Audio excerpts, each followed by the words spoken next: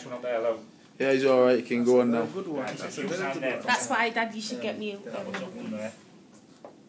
Uh, Laura, your head Laura, is move your head. Let me have a look, and then let me put my glasses on here. My date of signature today, so his date is the fifteenth. Okay. Of Eight. Don't be getting that wrong, either. Isaac.